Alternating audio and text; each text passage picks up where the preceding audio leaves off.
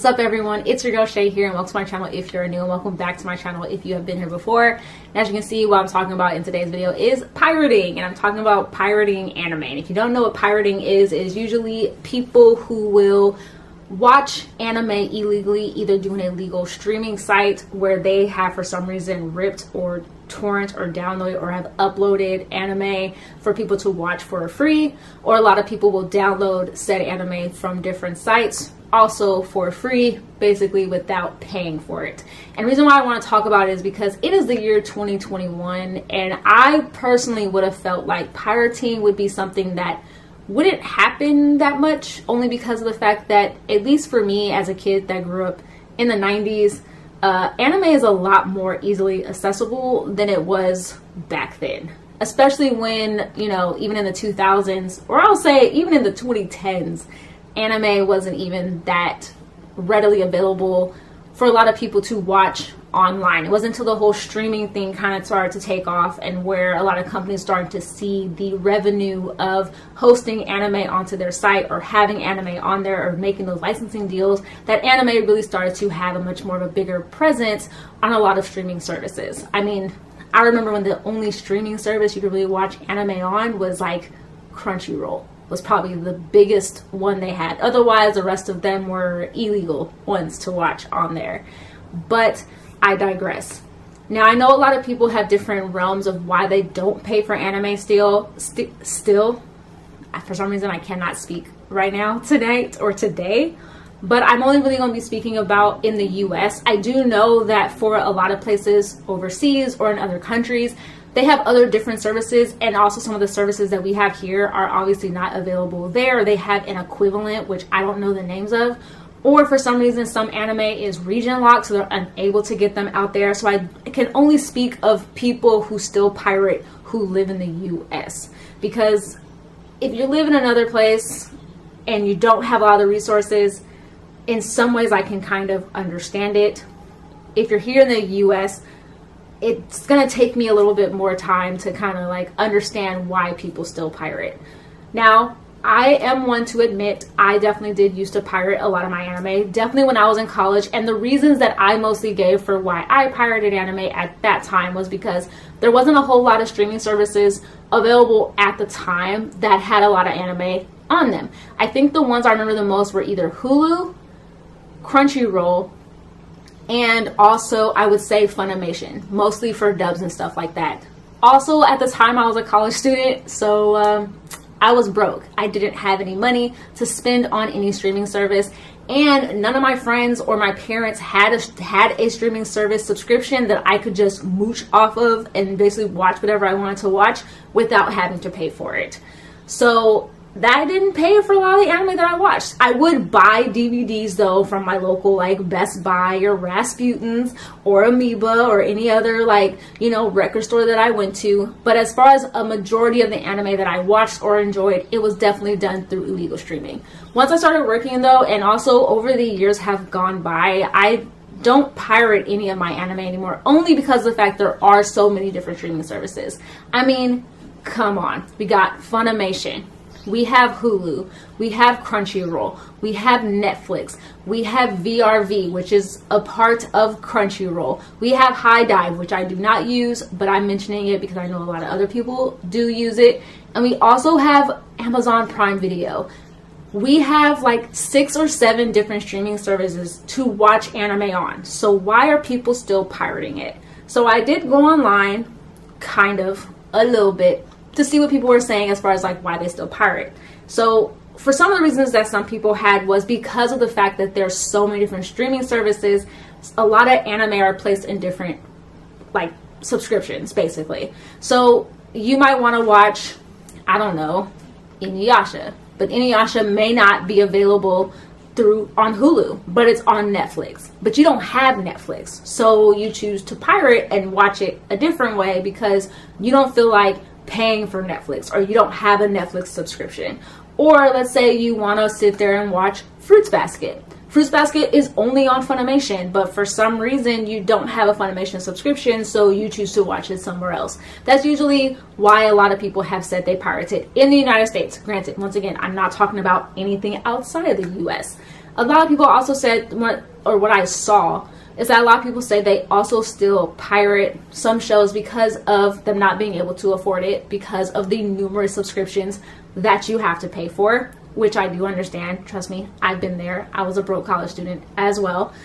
Also, some people have said why they choose to pirate, which is one that I don't completely agree with, is that it's ones where people have the money, but they have an issue with said company, so they don't want to pay said company to get said or watch said show. Which I get it, I understand in some aspects. Like if it was because of this these companies like business aspects or anything like that, you know, I guess I kind of get it, but then I also want to be like since you don't want to pay, you know, just throwing a name out there, don't want to pay Funimation for a subscription to watch said show, then either to me, A, find someone who has said subscription and use theirs because you're not paying for it, it's someone else's, or B, buy it online and import it so that you're buying from the licensor or the original licensor themselves, especially if you're wanting to watch it subtitled. Because I feel like pirating nowadays in 2021, to me, I honestly thought, at least in anime, it would have gone down because of the fact that there are so many other subscription services out there and anime is much more readily available compared to before. I mean, like I said, if you were a kid in the 90s, the most you had to watch anime on was whatever came on your TV. And I'm talking about like if you were a kid, I'm not talking about if you were like an older adult and could be able to afford to import stuff, but it was basically whatever came on your TV and you had to hope that the next episode that aired next week was actually the next episode and not just some random episode that aired or that comes out like 10 episodes later and you don't know what is happening. Or you had to go to your local, you know, Blockbuster or Hollywood Video and see if they had it on VHS to then take home or DVD, depending on the year. That was literally all we really had. And it wasn't until the internet became a thing and streaming kind of took off that anime became so much more available. So that's why for me, whenever I see people who are like, oh, this show went to Netflix of all places, I'm not gonna watch it there, I'm just gonna pirate it, my brain goes, don't you know someone who has a Netflix subscription? Can you borrow their Netflix subscription subscription if you either A can't afford a Netflix subscription in the first place, or B if you just don't want to get Netflix and forget that you have to pay for it, or C make up an email and just use the 30 day free trial because most of these have free trials. I mean, we've all done it. We've all gotten a free trial for something. And then just remember to cancel it before you get charged.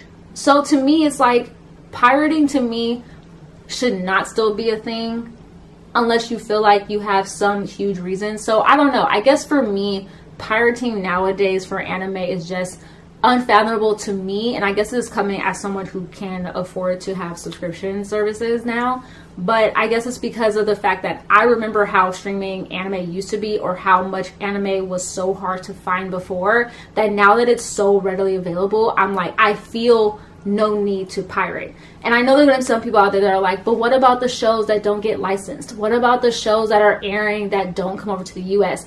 Yes, I used to use that excuse as well, but maybe there's a reason why. And also, that's not to say that that anime won't come over later. It just isn't coming over right now. And a lot of the shows that do air in Japan do end up coming out onto Crunchyroll because Crunchyroll airs shows the same day as, you know, they air in Japan, maybe a few hours later, so that they can translate it. Which I know some people are going to say the translations are bad, or some people are going to sit there and say, like, I want it now. And I feel like that's why the industry changed so much, is because of so many fans having the I want it now mentality of like, if I can't watch it when Japan watches it, then I'm just going to pirate it because they produce it so much faster than the legal sites. And the legal sites ended up changing that mentality and now they come out so much quicker.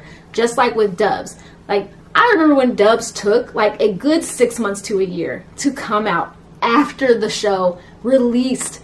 And now dubs, thanks to Funimation's like simul dub system, comes out like the day later. So now you have voice actors working much harder to produce dubs for you for people who want to watch something dub and not go to like fan dubs or feel like they have to wait super long for a dub to come out.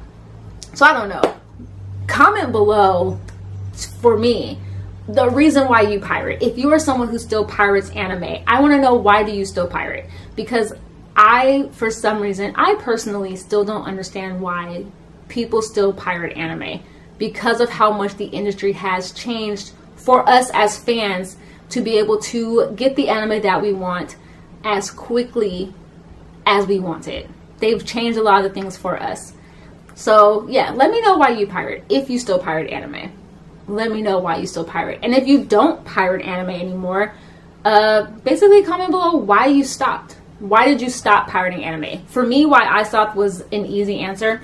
Anime became more readily available on a lot of streaming services, and I ended up having enough money to afford subscription services. And even when I couldn't, I borrowed other people's because my friends were able to get subscriptions. So, yeah, that's why I mostly stopped. So, let me know for those of you who had used to pirate why you now stopped.